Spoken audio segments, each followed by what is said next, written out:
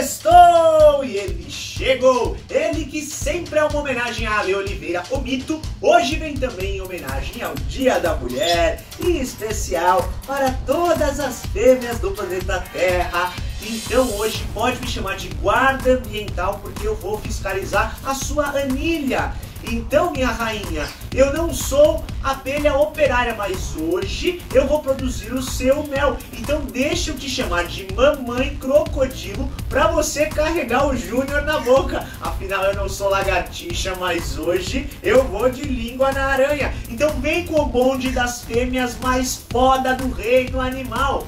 Com a louva-a-Deus que come o macho, a peixe pescador que funde o corpo com o corpo do macho, a mamãe que vi que põe um ovo desse tamanho, a hiena que é o pau, eu, a minha mulher também, e ele, animalha.